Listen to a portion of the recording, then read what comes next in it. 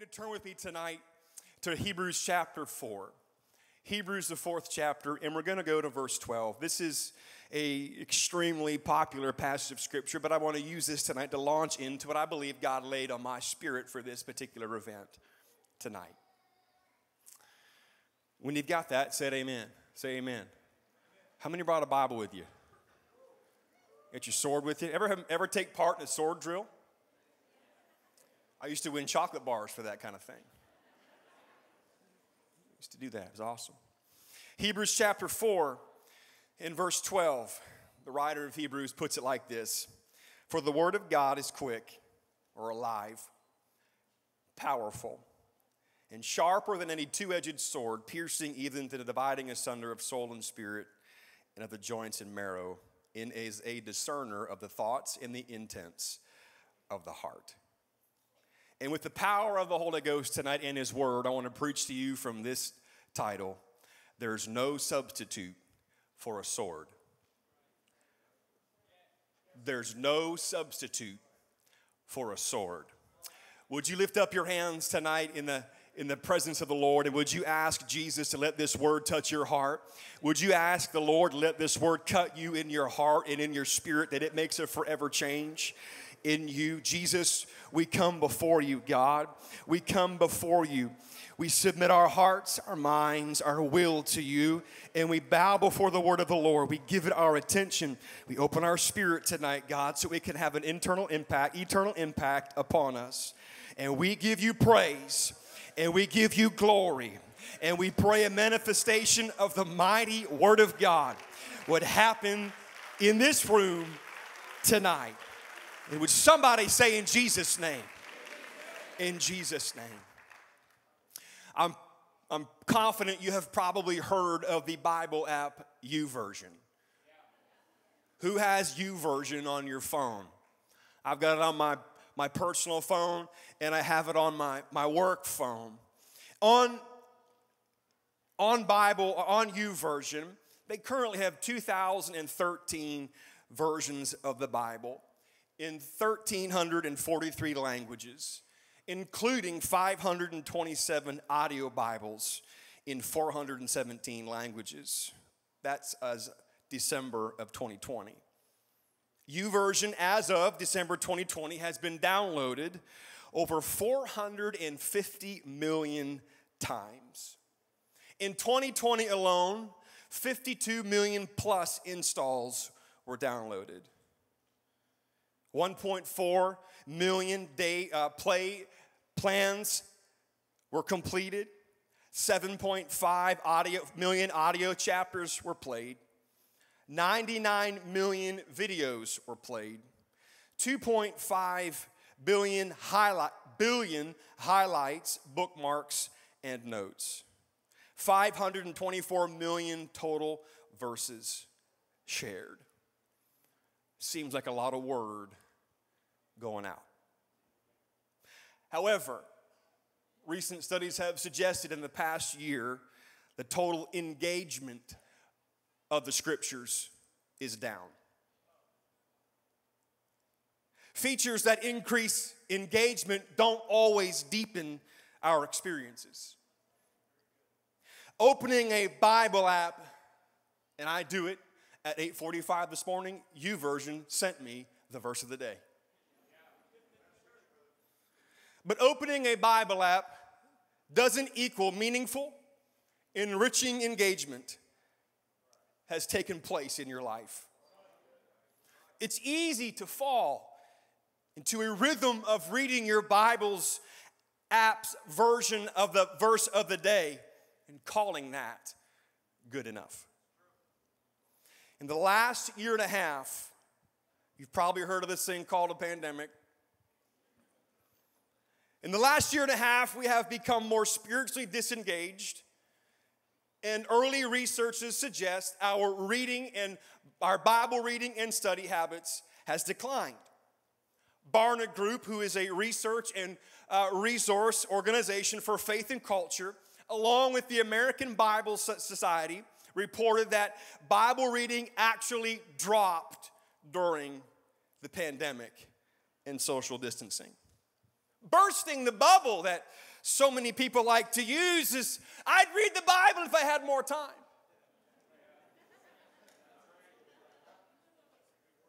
You had all kinds of time to read the Word. It's where you put your time that, that's got you. You know, I come to tell somebody here tonight, and I've come to tell my generation and those listening, that the devil does not care if you download a Bible app on your phone. He does not want you to download the Word into your heart.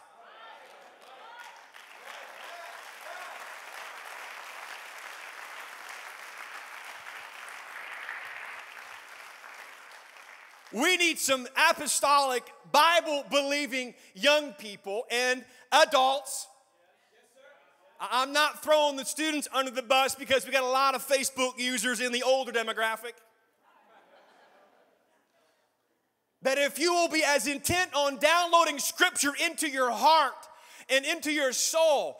As scripture tells us in Psalm 119 and 11, Thy word have I hid in my heart that I might not sin against Thee if there is a pandemic, if there is something that is extremely wrong right now and how I feel in my soul, is that there is a void of people who actually have the Word of God hidden in their heart and we talk about mission and we talk about reaching the lost and we talk about the gospel. Let me tell you something. You can't do any of that with a Bible app. You can't do any of that with a, uh, your tablet. You need the Word of God in your heart.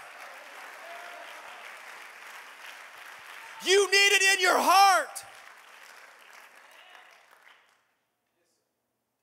You shouldn't have to always fumble through the apps on your phone to try to find a verse of scripture.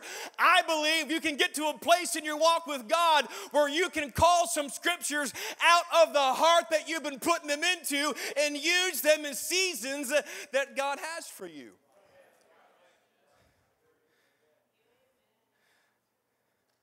In 1588, I don't think anyone was alive then. If you are, we want to know the fountain of youth you've been drinking from.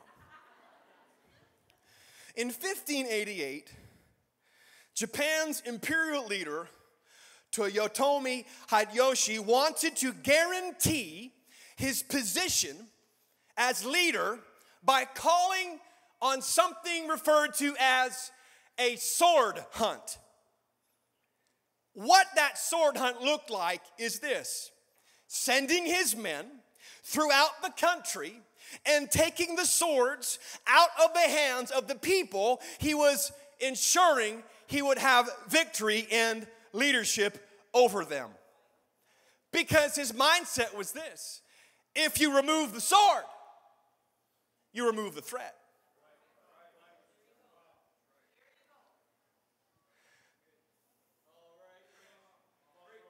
If the devil can take the sword out of your soul, if he can take the sword of the Spirit out of your hand, he's, he's taken the threat away. He's taken the very thing that takes him down, he's taken it out of the way. Remove the sword, and you've removed the threat.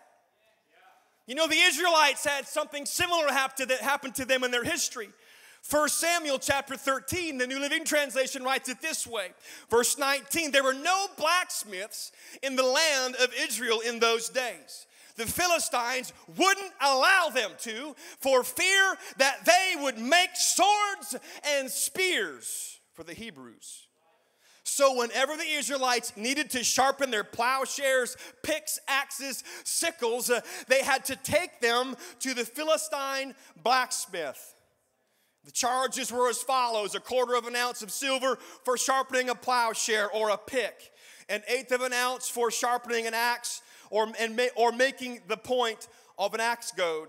So, on the day of battle, none of the people of Israel had a sword or a spear except for Saul and Jonathan.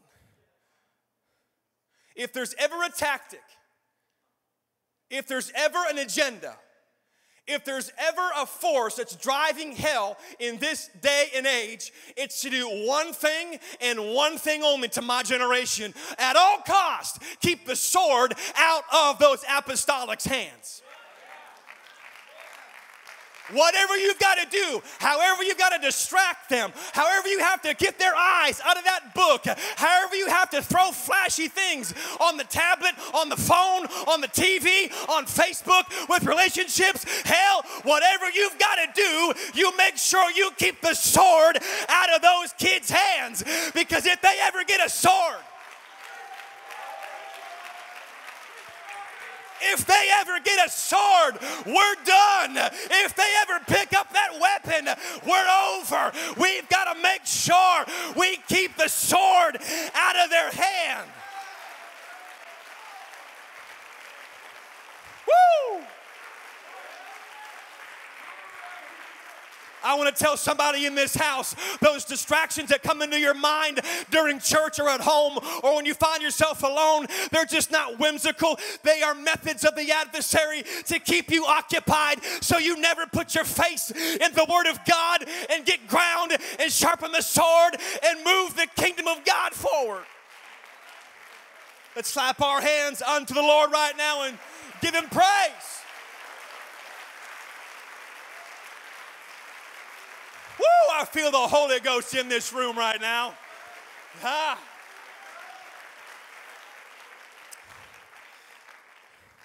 I believe perhaps the pandemic positioned Satan with the opportunity of his lifetime in existence. The most widespread and available weapon to take away from the children of God the Word. He's comfortable with you having church.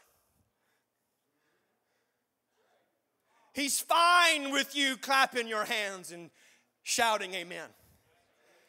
He's all right with you getting your praise on at a youth convention. He's all right if you get motivated here this weekend, but he does not want you to leave equipped this weekend.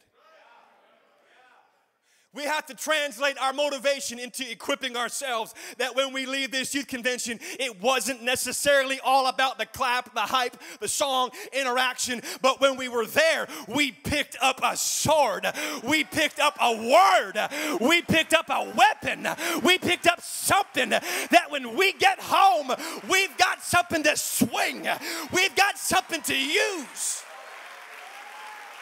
Ah, let me tell you, that jump in here, it won't free you or give you power. But I know what does when you reach down into the heart that you've been putting the word in and you extract the sword of the Spirit and you begin to fight. Use that sword. So if you really want to shake up hell and you really want revival and you really want to on fire walk with the Lord, I give you a challenge. You need to become acquainted with the Word of God in this hour like you've never been equi- you have never been in favor of it before. You need to have a relationship with that Word.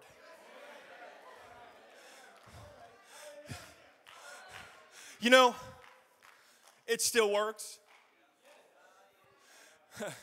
it still works. It does the job, it cuts, it convicts, it heals, it saves. It does the job. You don't have to substitute that. You don't have to put that down. You don't have to replace it with some gimmick. All you got to do is get yourself alone with it and get a hold of the word and let it begin to do a work through you. And you'll see God do something in your family. It,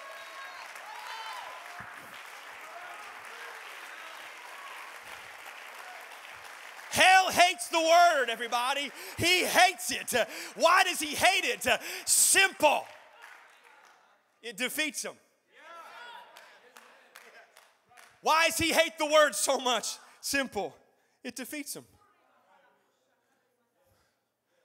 It beats him. I mean, let that set in for a minute. What destroys? What, what beats our adversary? It's the word. It's the word. I tell you a phrase. that drives the devil nuts. Because he hates the word, it defeats him. It trumps him, it stumps him. He, he can't get away from it, he can't get around it. He, he's, it corners him. And a phrase that drives the devil crazy is when he hears a child of God in the middle of temptation, in the middle of trial, when he hears a young person who's struggling, when he's, he thinks he's got the upper hand, when he hears somebody begin to utter the words, It is written.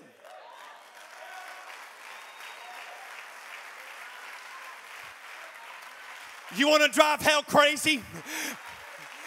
Hey, hey, what? When you say it is written, it reminds him of a conversation he had back with Jesus back in the gospel when he tried to defeat the Lord, and every time it is written. I want to preach to somebody in this room. You better leave this, uh, this youth convention with an it is written in your soul, in your spirit. That way, when hell comes knocking on your door next week, no, no, no, no, no, no. I, I, hey, hey, it is written. It frustrates him, it fires him up because when you begin to quote the book and put the sword in his face, he's you win. He's going to tap out. You win. When you use the word, you win. Let's clap our hands unto the Lord right now.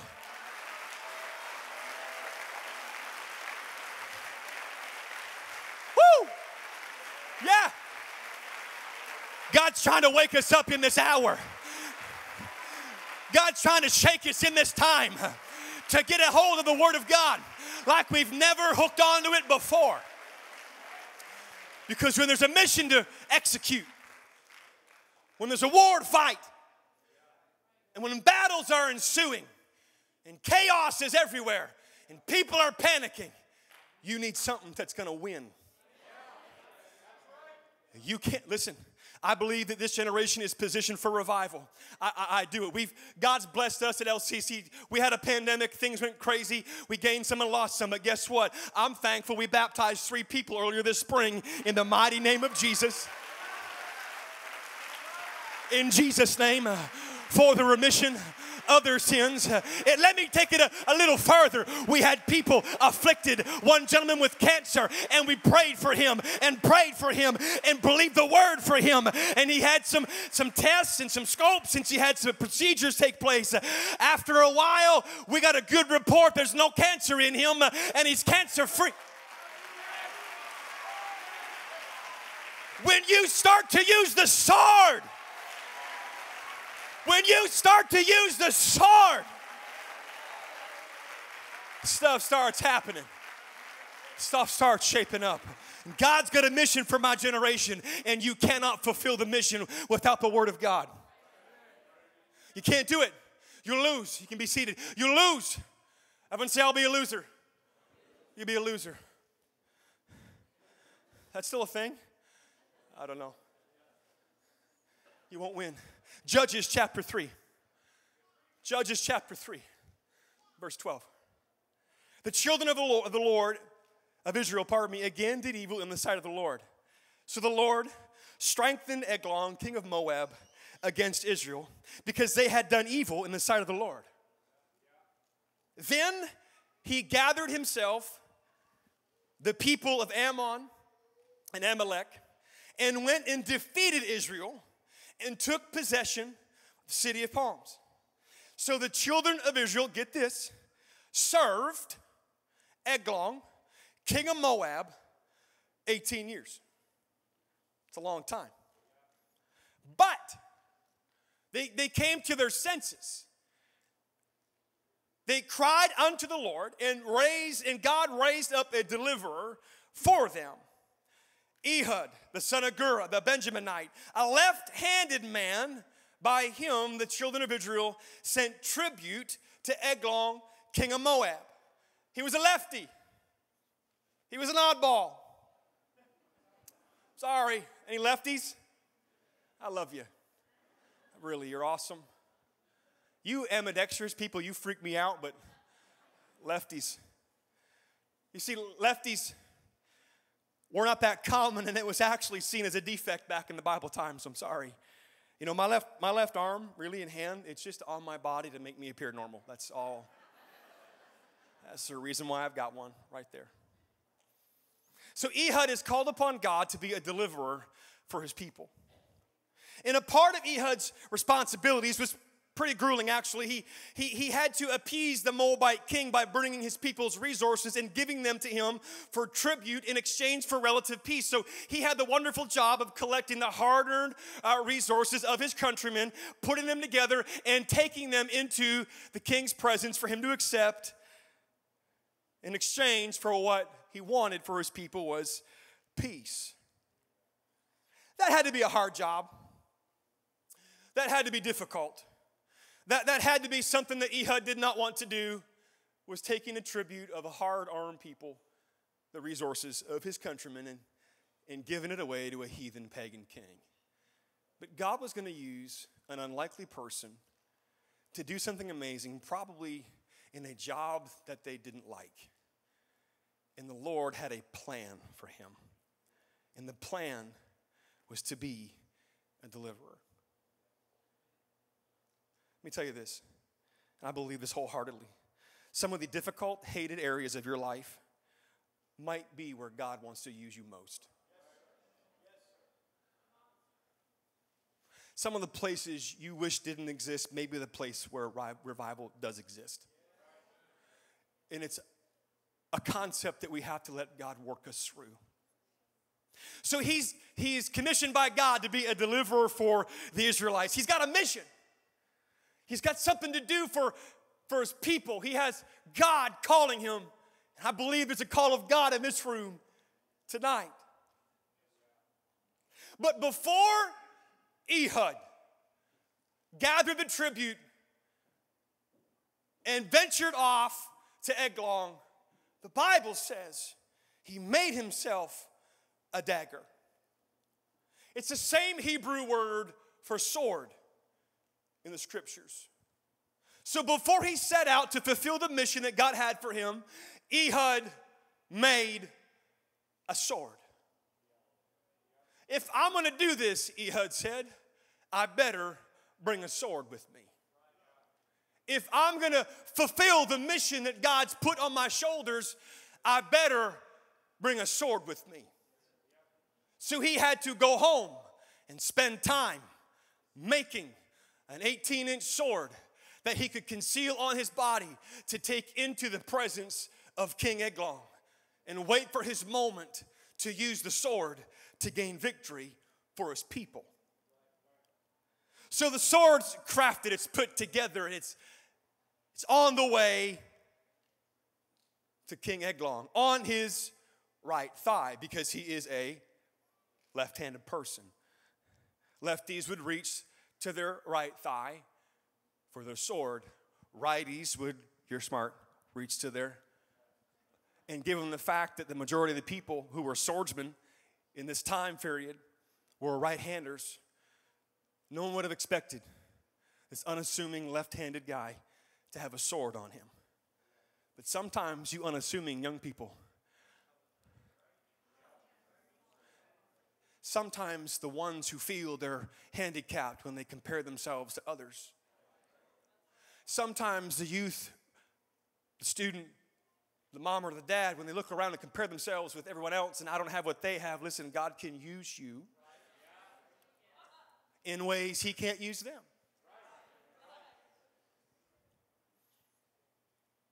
So Ehud is on the way. He's headed into He's headed into Moab, he's headed to see Eglon. And the scripture says in verse 13 or verse 17 of Judges 3, he brought the tribute to Eglon, king of Moab. And the Bible just throws this in there that Eglon was a very fat man.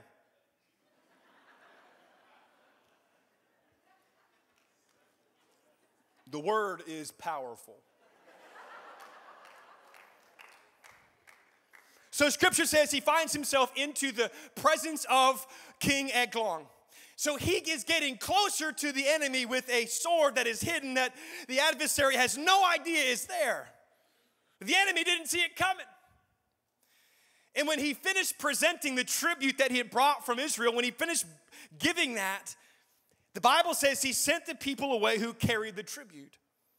But he himself turned back from the stone images that were at Gilgal, and he said, I have a secret message for you, O king. You see, he's getting ready right now to fulfill the plan of God that God gave him. He says to King Eglon, I, I, I've got a, I got a message from God for you. And he said, Keep silence. This is Eglon. And all who attended him went out from him. And so Ehud came to him. And now he was sitting upstairs in his cool private chamber. And then Ehud said, I have a message from God for you. And at that moment, Eglon stands to his feet. And he positions himself in front of Ehud. And it's at this moment that it would appear that it's just one man facing another man, but if I could stretch you a little bit, it was one kingdom facing another kingdom. It wasn't just one man to a man, it was, it was one kingdom squaring off against another kingdom. And as Eglon is waiting to hear the message from God, he, he just stands up in this arrogant posture and pride. And what's God gonna tell me? As scripture says that Ehud reached with his left hand and he took the dagger from his right thigh. And excuse the graphic nature of scripture, he thrust it into his belly, even to the hilt after the blade, and the fat closed over the blade, for he did not draw out the dagger from his belly, and the entrails came out. It's quite vivid. You know, when Ehud told Eglon, I have a message from God for you. That's the last thing Ehud says. He doesn't speak anymore. He simply reaches to the hidden place and he pulls out the sword he'd been carrying the whole time. Whoo. And as one kingdom squares off against another, one full of pride and arrogance and dominance, uh, feeling like he has the upper hand on this poor Israelite. Believe me, the last thing Eglon would have been would have wanted was to be alone with an Israelite with a hidden sword. The last thing Satan wants uh, is to be you and somebody else who you're reaching or somebody else you're praying for or something you're trying to do in the kingdom of God. He don't want you to be alone with a hidden sword.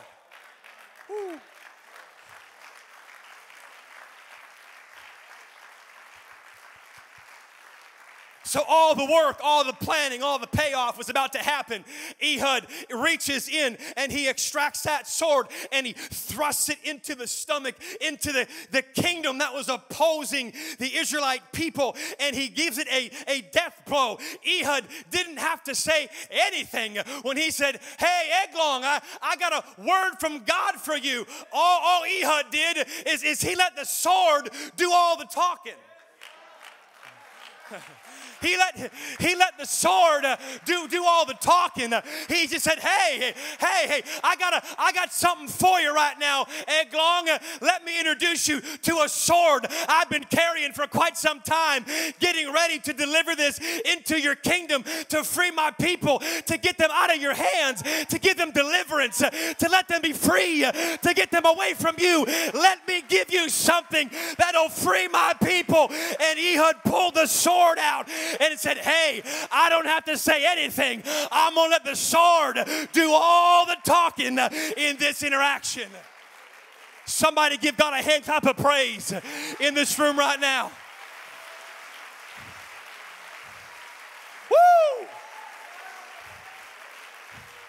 You've got to hear me right now. You can carry a sword around with you that when hell is all over your life uh, and trying to con- convince you that you're not worthy and, and God don't love you and there is no revival and you're all washed up, if you would do yourself a great favor and reach into the heart of where you kept the word of God and pull that out and deliver a death blow to the adversary with the sword of the Spirit. Clap your hands unto the Lord right now and shout unto God.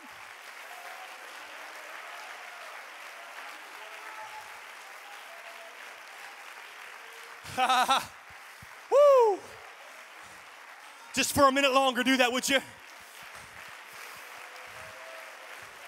Alamando.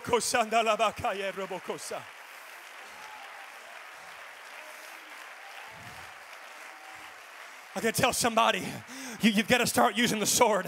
You, have got a mission from God, and you've been doing it all wrong. You, you can't just leave the sword at home. Ehud would have been helpless and defenseless, but he brought the sword he made before he left. Listen, before God ever plants you on a mission field, before God ever puts you in a place to do his work, you better be spending time before you leave fashioning a sword to take with you to deliver to the adversary. Do you realize that the Bible declares the Word of God to be the sword of the Spirit? And I believe in my heart of hearts that there are students, young adults, maybe pastors and youth pastors, that you are bound and oppressed by the adversary, and you have not been using the Word of God to fight him back. You have not been thrusting the sword back at him. But I believe wholeheartedly that maybe some of you are convinced I'll always be this way, I'll never be free. I'll always have to deal with what I'm dealing with. Let me tell you, there's a sword.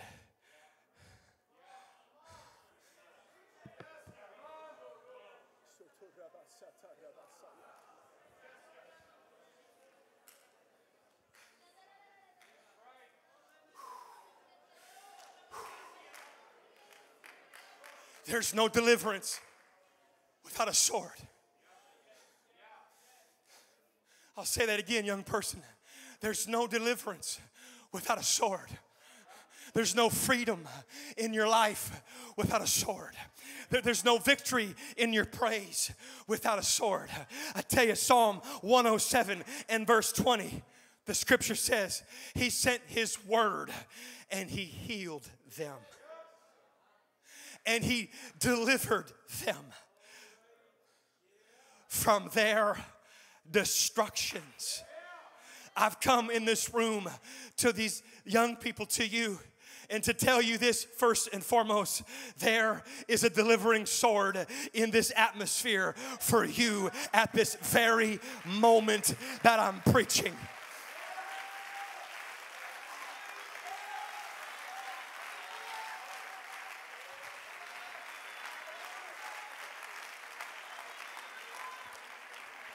At this very moment there is a sword of deliverance that is in this atmosphere. And god has about he's coming through for you. I want to tell someone in this room your deliverance can happen right at this very moment. Would you lift up your hands all across this place? Would you lift up your hands all across this place? Would you lift up your voice right now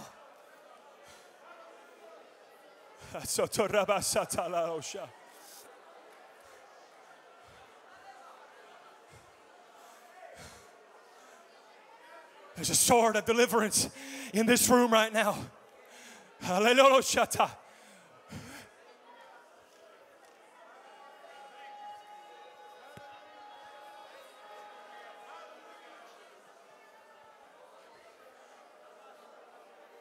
It's all right. We're going to take a minute. You just seek God for a minute. Let the Holy Ghost settle upon this room. God's going to set some people free right now.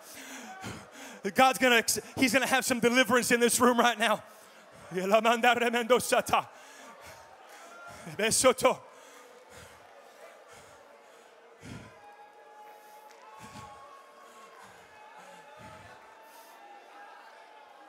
You can't substitute this any other way. There's got to be a sword in this room right now that cuts you free from your depression, that pulls you out of your oppression, that gives you joy, that gives you gladness, that gives you anointing, that, that, that lets you receive the Holy Ghost, that makes you become healed, that gives you vibrancy in your walk with God. There's a sword in this room.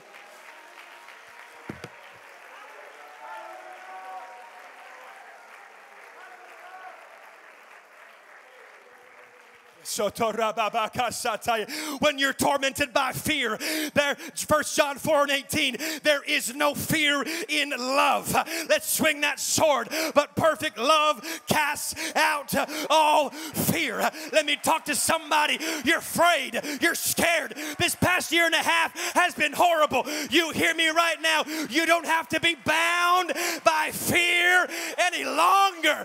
There is an anointing in this room.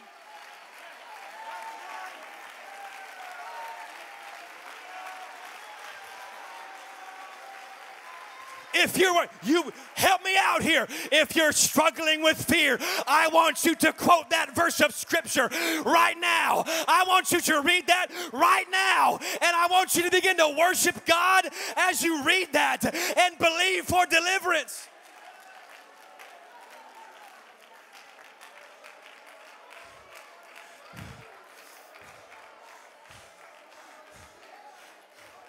There's a sword deliverance.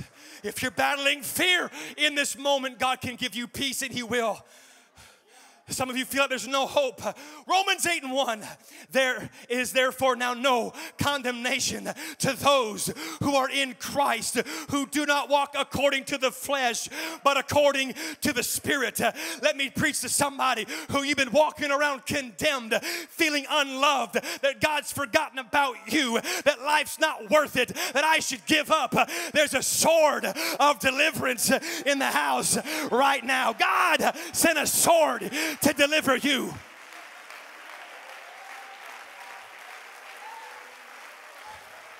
Put that next verse of scripture up for me. Some of you need to realize, you need to understand that there is freedom. There is freedom for you. There is There's freedom for you. You don't got to stay there. There's freedom for you. The word says, if the Son therefore shall make you free, you are free indeed.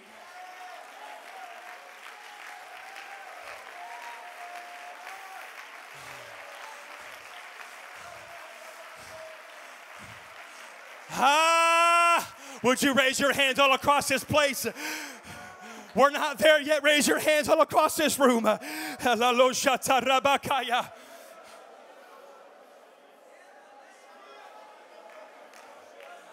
You feel that?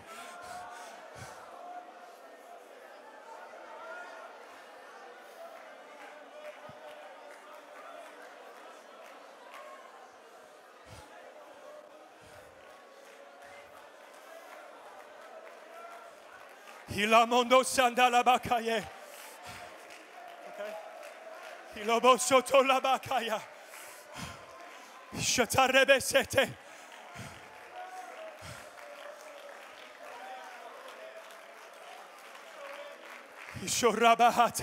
I, I, I, know we have stuff to take care of and we got pledges to fill out, but I'm captivated right now by the Holy Ghost that, that there are some young people in this room right now. You are so bound up uh, with, with being full of fear. You are so restricted. You need delivered. You need God to free you. You, you need the Holy Ghost and the Word to cut all of those things that are entangled in your life away from you. It ain't going to happen in a self help book, it won't happen with your buddies. It'll happen when you use the word.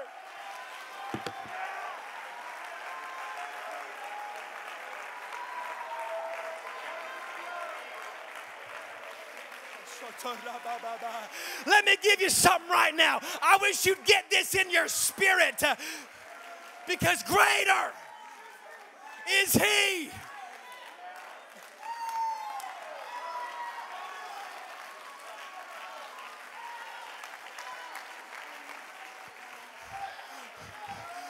Greater is He who is in you than he that is in the world. That's just not something to make you feel good or clap your hands. That's to give you confidence that you can be free. There's no substitute for a sword.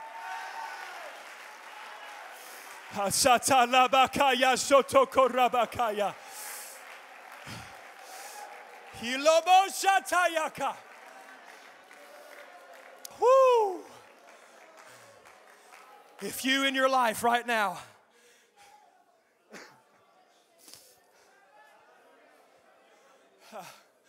if you in your life right now need deliverance in your in, in any situation, whether you're struggling with addiction, whether you're battling with depression, I'm not downplaying that, those are real things. Oppression, addiction, stuff's going on that you you're constricted. Lies from the adversary telling you you'll never make it. If you are battling anything that you need deliverance from, I wonder right now if you'd raise your hands.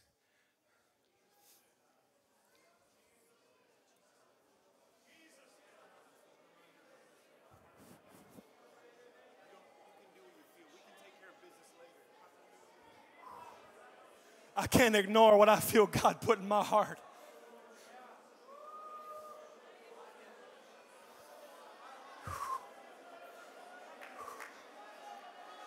We've got some young people and some adults who you need deliverance in your life. And like psalmist, the psalmist wrote, he sent the word to give healing, to give deliverance for you. Satola Shakaraya. Rebesoto Kobakasaya.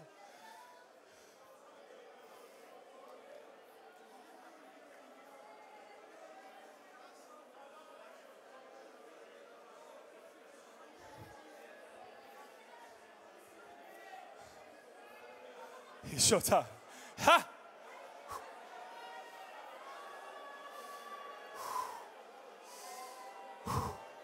I, I need some of you who know how to use the sword to use it for a moment right now. I, I, need some of you who know how to use the word to pray the word and pray in the spirit right now. There are some people who need deliverance. There are some people who need free. There are some people who have addictions, all manner of things, pornography. You have addictions in your life.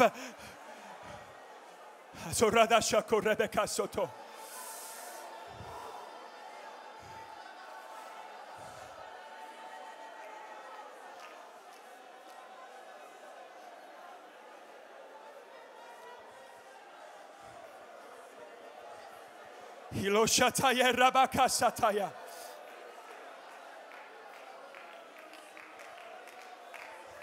All right, all right, all right.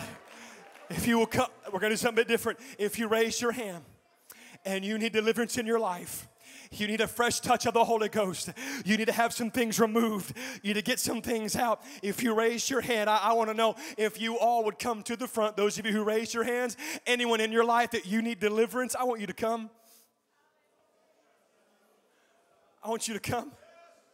No shame in this. No shame in this. It's all right. You're my hero if you're coming.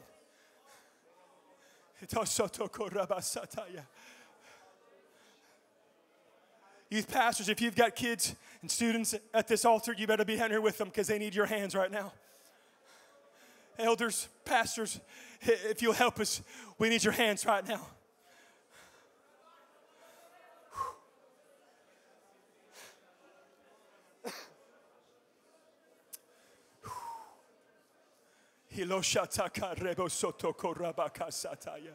I want you to raise your hands all across this room right now. Let's have that atmosphere again. If you need Jesus Christ to deliver you, to loose chains from you, to break bondage in your life, I want you to raise your hands And I guarantee you, there's one thing the devil does not want you to do, and that is raise your voice. If he can bind up your tongue, I would dare say he has a, lot, a stronghold over you. If he can keep your mouth closed, he, if he can keep your mouth closed, he has power over you. Hishota rebeke sikote riba seneke iseto ribeke tete. Lift up your hands. Lift up your voice and begin to pray in the Holy Ghost.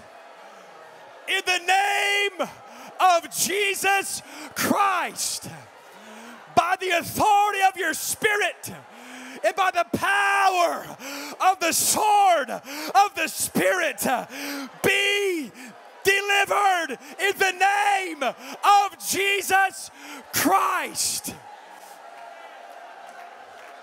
Lift up your voice. Lift up your hands. Hataya. Exercise the sword.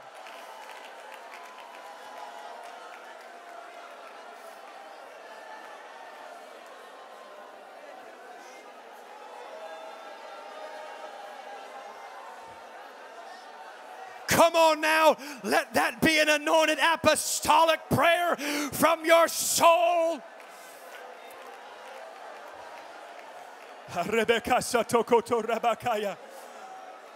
We need your help. Anybody in there, if you can get up here, please come. We need you to lay hands on people. We need you to help us pray people through to deliverance.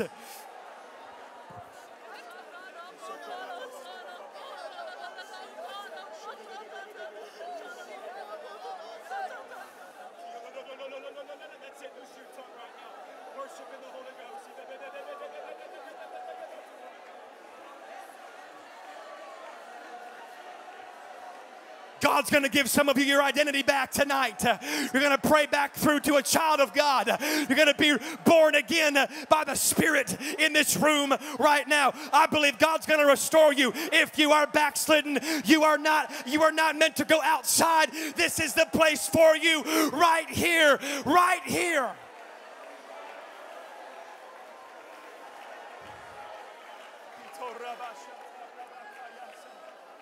That's it, that's it,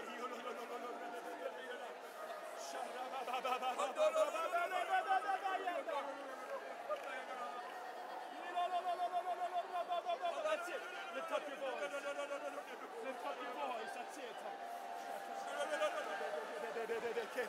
That's it. That's it. That's it.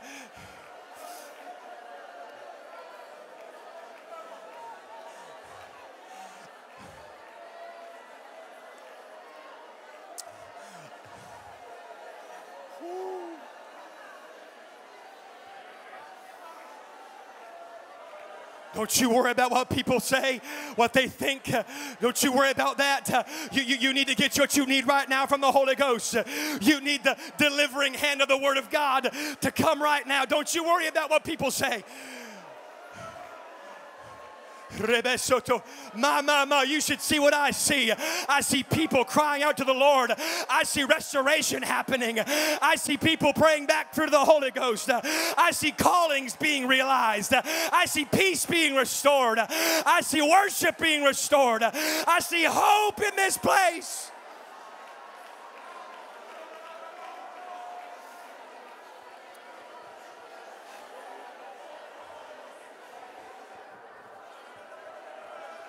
Hataya tato shata karaba sataya.